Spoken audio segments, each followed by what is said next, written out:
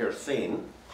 Um, it uh, was the original reason why drilling for oil started in the 19th century, because everywhere in Europe and the US, people um, lit their houses with kerosene lamps. But of course, that's no longer the case. But it is the case in the developing world, where where 1.6 billion estimated people um, still use kerosene as their major source of lighting. So there have been, you would think that given that 20% of the world uses kerosene for lighting, that it would have been widely studied. But in fact, there's been very, very few studies. But those that have uh, occurred, and we've done a bunch of them, suggest that kerosene may be, more, at least the PM 2.5 generated, uh, produced by kerosene, may be more potent on a per mass basis uh, in terms of causing respiratory effects than PM 2.5 from um, biomass burning for cooking. So I don't have time to go into that. Uh, it's a topic of another lecture in itself. Um, anyway, just I'll just say that and um, uh, move on because I'm going to be talking mainly about exposure in this talk.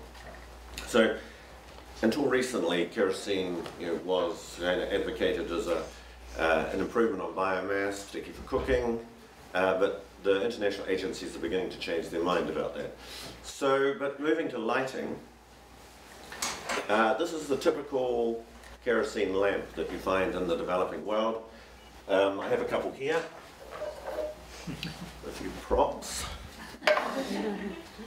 And they're made out of food containers and lacquer containers and um, uh, just modified slightly. And um, they generate about one lux of light and you find them everywhere. And the nice thing about them uh, is, at least from the, the user's perspective, is you can buy whatever amount of kerosene you can afford and put it in that, even if you only have a very little amount of money. So, um, and they go by different names. They're called Korobois in Kenya, uh, Tukis in Nepal, which is the other country where I do a lot of work. So we know certain things about kerosene. It's pretty well established that uh, poisoning is the, the major cause of child poisoning in developing countries. And typically what happens is that people buy a small amount of kerosene, they put it in a drink bottle, the child comes along and drinks it. So that's very common. And also, there's the cause of fires. Uh, it's easy to kick these things over. And also, uh, some people use kerosene stoves, easy to kick them over, and they cause a lot of fires. And if accidentally you mix a tiny bit of uh, gasoline in there, even if you were to fill it up with gasoline accidentally, tip it out, and then fill it with diesel, and then try and light it, it would probably explode, just because just a little bit of gasoline uh, mixed in with the, the kerosene will cause uh, an explosion quite easily. So we know that kerosene you know, is quite hazardous, but what we don't really know is what about the emissions from the kerosene lamps? There's very little information on those, very, very little. So moving to African countries, so uh, kerosene is used for lighting very commonly in African countries um, because just, you just can't get the electricity, uh, particularly in the rural areas. And um, uh, some countries use candles predominantly, and some use kerosene. But in Kenya, which I'm going to be talking about, uh, they use kerosene, this Korobois.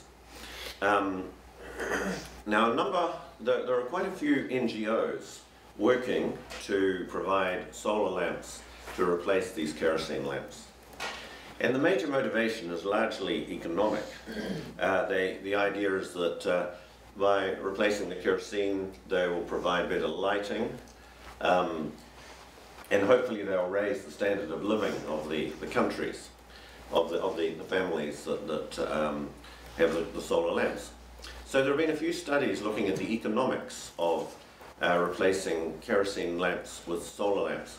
And in fact, that's how we got involved. Um, a study funded by Google was happening uh, in Kenya to, or at least was planned in Kenya, to investigate whether or not the standard of living of families would be raised by uh, supplying uh, solar lamps uh, to families using kerosene lamps. And they had the idea that maybe should, they should look at health at the same time.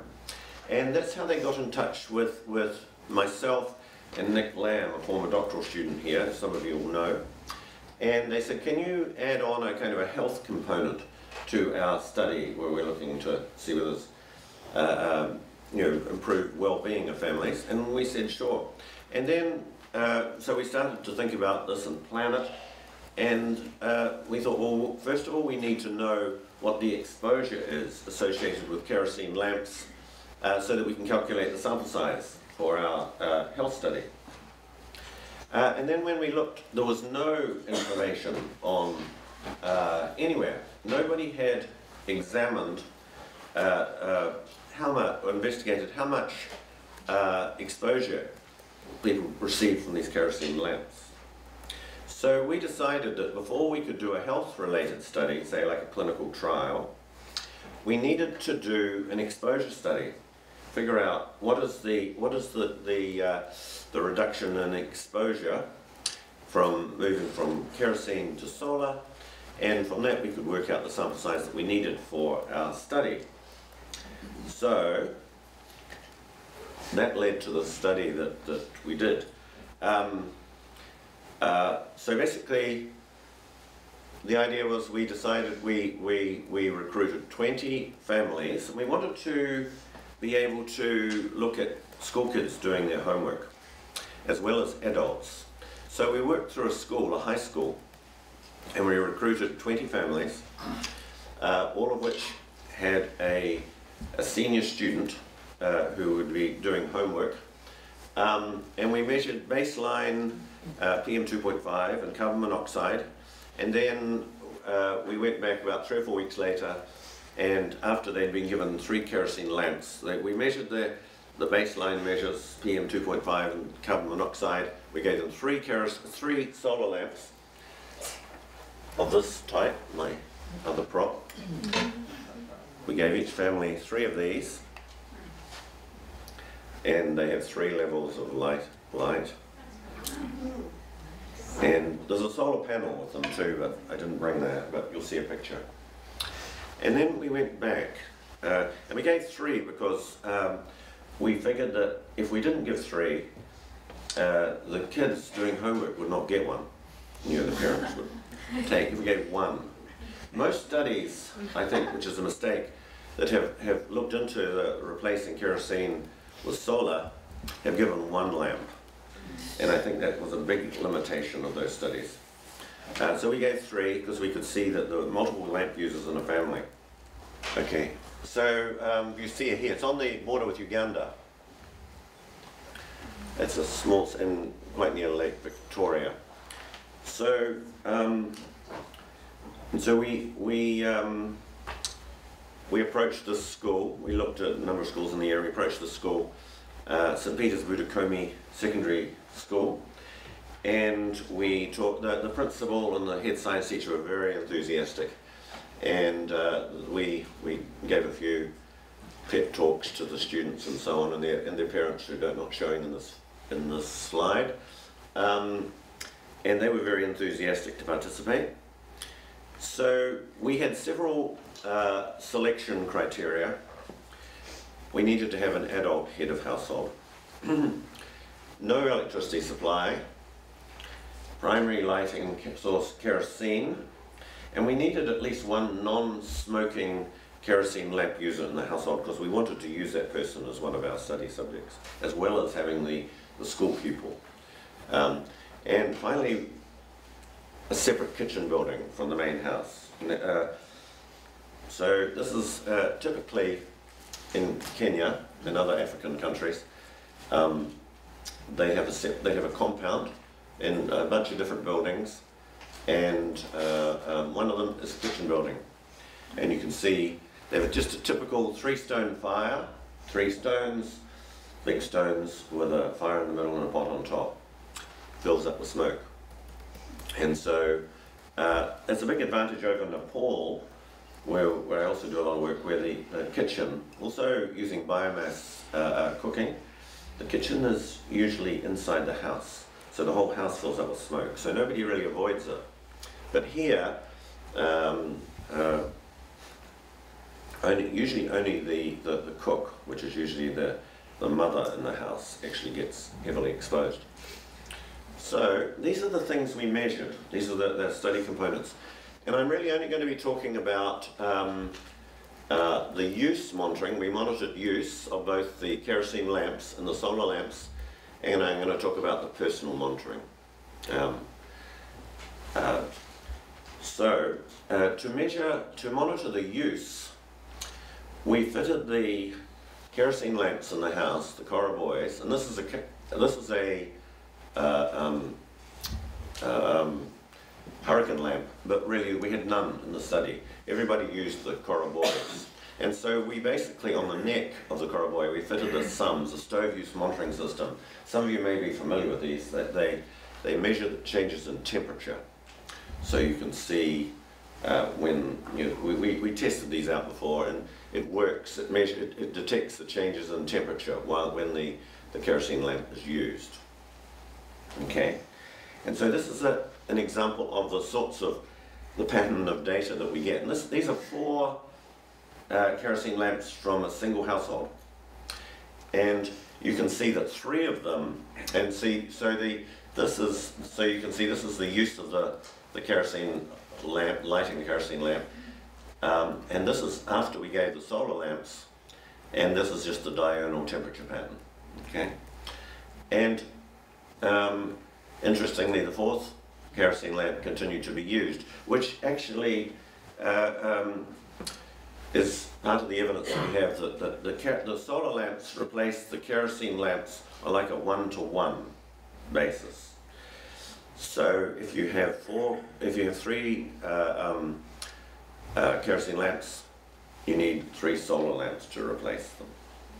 Okay.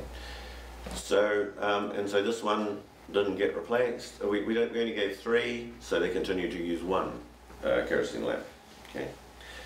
Now, so so we also um, we also measured, we also uh, monitored the the use of the um, uh, solar lamps. So we fitted the solar lamps with this internal device here, which uh, actually measures the time that they're turned on and off.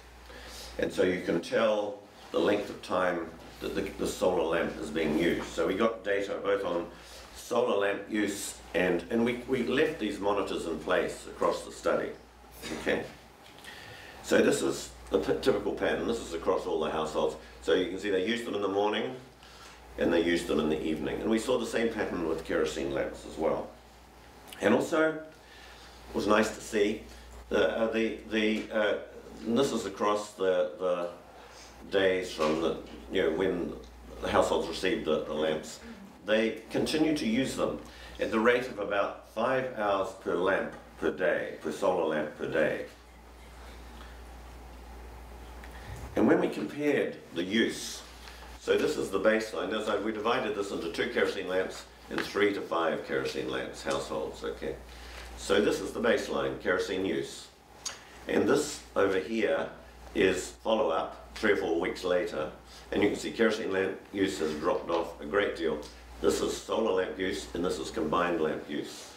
And we also did one week prior to follow-up.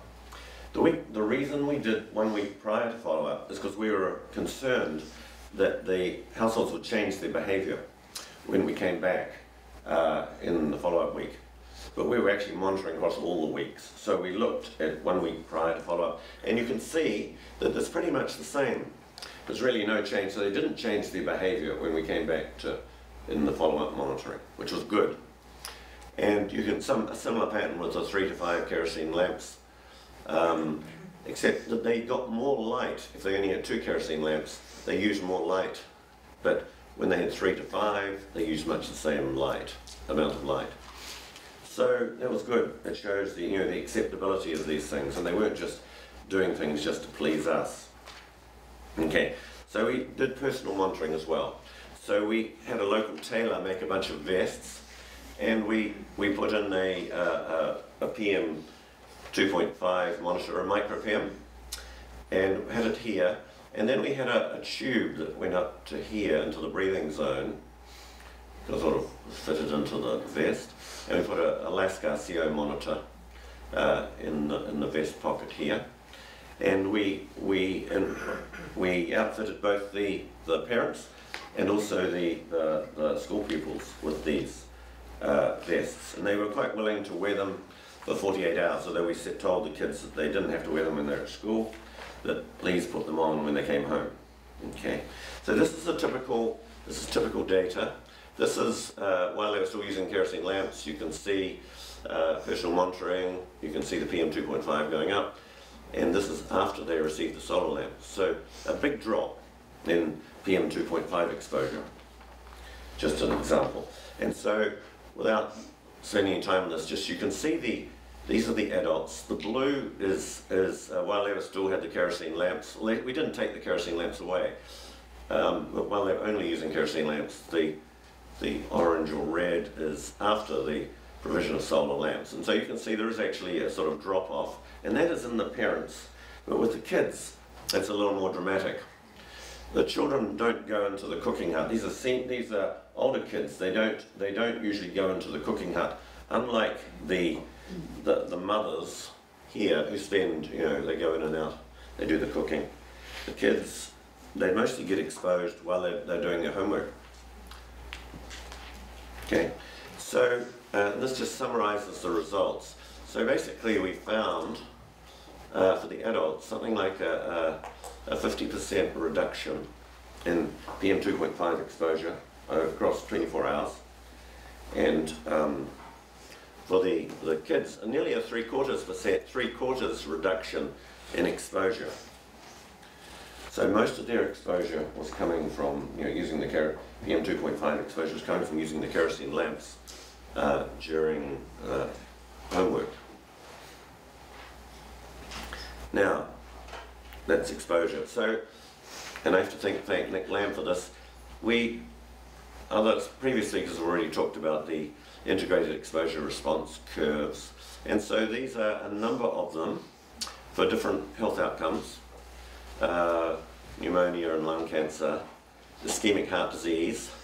And so this, the blue here, represents the adults. So this is the reduction for the adults. And the, the red or the orange represents the school kids.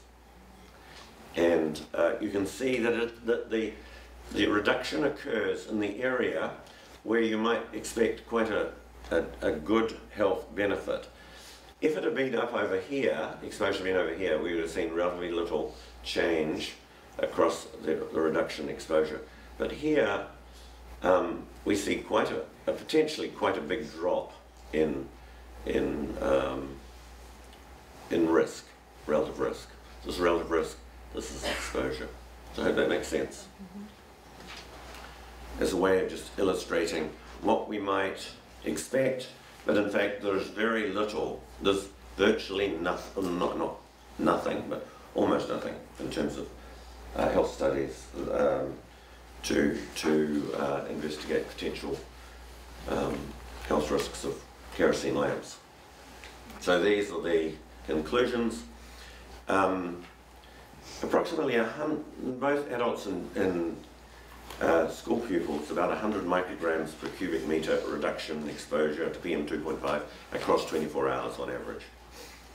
Um, very large displacement of kerosene lamp use, which, which those of you who've done any work on the household uh, uh, air pollution from cooking stoves will know this is a huge reduction.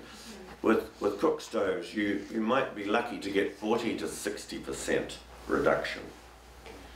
Um, it's, it's been really disappointing and unsuccessful, but this is potentially very, very, uh, uh, very good. Um, uh, yeah, and we think that we could we could potentially find health benefits if we were to do a randomized trial. So we hope to get the funding for that, but uh, Google unfortunately has changed their funding priorities since we started this, so they're not so keen to, to fund that part of it. I just want to acknowledge my co-investigators, particularly Nick Lam, and other colleagues from Uganda who did most of the field work, uh, Kat Harrison, SolarAid, and several colleagues from KEMRI, Kenya Medical Research Institute, And um, uh, Ilse Ruiz-Mercado, who some of you will know, she did uh, uh, the SUMS analysis. And just to acknowledge uh, those who helped us with the study, and Google Ireland, who funded the, the study. otherwise known as the tax shelter. Yeah, so thank you very much.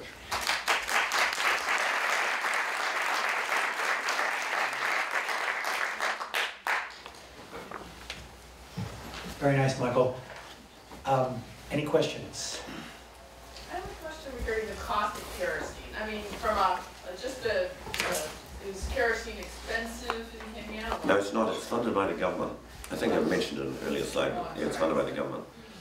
And, and so it makes a big difference because in Nepal, where we did our original work on kerosene and where we started to see that there were potentially problems with it, um, people were using it a lot. And then the government removed the subsidy and they don't use it at all now.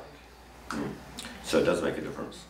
It's Steve, did you have a question? Uh, yeah, I have a question and a comment. Uh, in this country, at one, at one time, our major source of domestic indoor lighting at night was a whale oil lamp. And a whale oil lamp is essentially one of those right there. It didn't have a glass shade. When kerosene became available, it's much dirtier fuel, and almost everyone converted their whale oil lamps with a glass shade, or else they came up with a new lamp that had a glass shade on it because it was a much dirtier fuel. What is the effect of a glass shade on the emissions, the, the PM, uh, from the, from the burning kerosene? And two, was there any control of people possibly having a glass shade on their lamps at their houses? Because that would seem to, that would seem to maybe have an effect. So, well, I mean, the, the, the, the hurricane lamps have glass shades, but they don't use them very much because they burn more kerosene. And, you know, so, so they, they, they, they burn brighter, and they probably funnel the, the fumes upward, It may reduce exposure, I don't, I don't really know. So, I have a comment. Uh, I don't think you mentioned this, except that you slipped once and said diesel instead of kerosene. Did I say? Uh, But that's good, because for those of you uh, who may not know, kerosene is very close to diesel in terms of where it is in the petroleum distillate spectrum.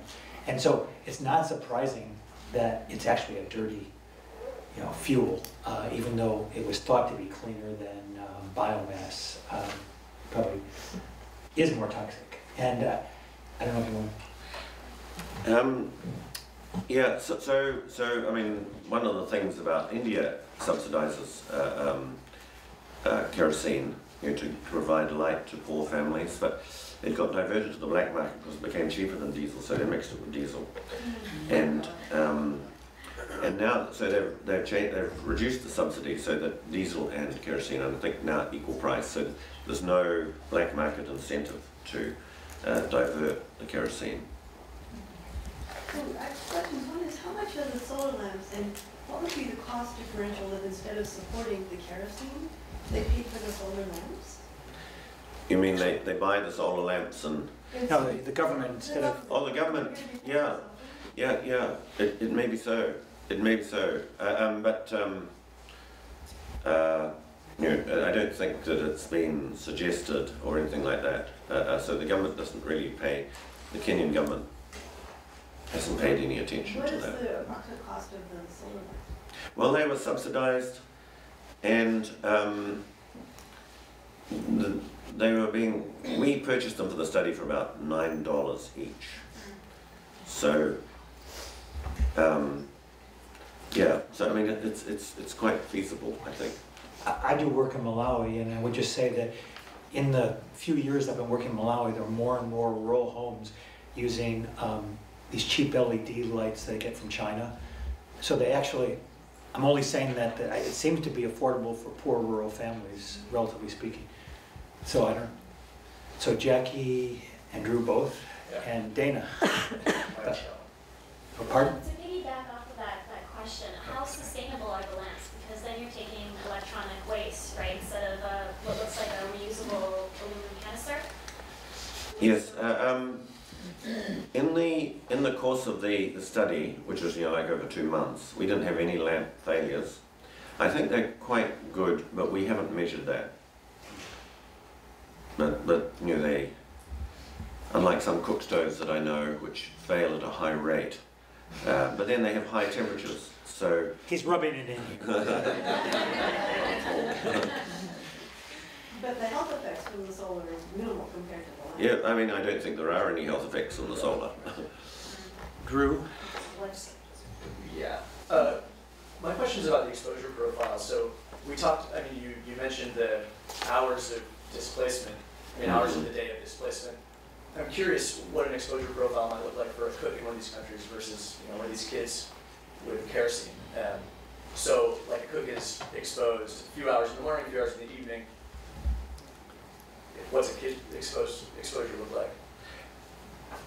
You mean a cook's exposure to PM two point five I generally? didn't phrase that question very well. I guess I'm curious what, uh, what kerosene lantern lighting exposure profiles look like compared to co- cooking exposure profiles. So, so two different sources. Yeah, actually, I don't, I don't have that information. I, I, uh, I, I'm not exactly sure. I didn't do that analysis myself. what's your hunch?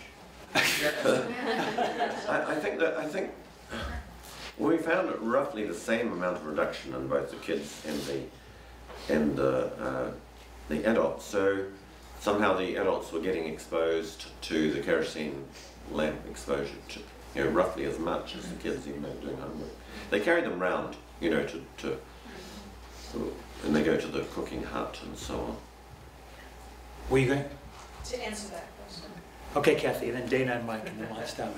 Um, yeah, in some of the, uh, the experiments in Nepal that Nick and, and Ajay and others did, we actually saw surprisingly high levels from the lighting and there, and in fact, uh, they were almost comparable, you know, to the stove. The stove is higher, but it's a shorter time period. Dana, do you have a question? Um, no, I just had a, a comment. There's a firm called Empower who makes this very portable solar lamp that you can actually blow up like in balloons. So every you buy, they put them, they give it another one to a country that needs it, and they work fabulously. So, Mike? Thanks, Michael, running this talk and, uh, you know, impressive projections. But I want to ask you something about the exposure response curves that you show. Mm-hmm. Uh, So this is sort of a bugbear of mine. He's one of the original, one of the authors of the original uh, paper on this. Where it's being applied now somewhat uh, concerns me because let's say we have an exposure like kerosene, and I think if I understand correctly, there hasn't been a primary health study to ever demonstrate effects. No, no, no. So, and there is some evidence that the PM 2.5 from kerosene may be on a on a you know per weight basis more toxic than PM 2.5 from. So, It's like diesel. so there's all sorts of caveats associated with this, which Yeah. I didn't really have time to go into. If we look at, you know, the- the biomass indoor cook stove, that is purported to account for, you know, four million deaths a year. hmm But any of the studies that have been conducted are either negative or very mixed.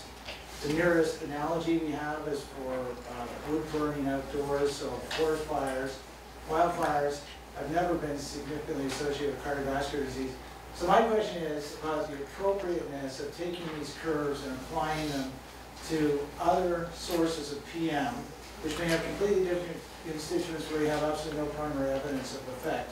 So I totally agree, but I'm not sure what else we could do just to you know, try and put these, these concentrations into perspective. So many caveats, and you're quite right, um, but Yeah, and I would, this is all we have. it's too bad Kirk isn't here. Uh, wish you might do. But, you know, I quite agree with you when you're talking about biomass smoke. Um, uh, But I think it's likely that kerosene exposures are, are, will fit on that curve. Yeah, I, I agree, it's one of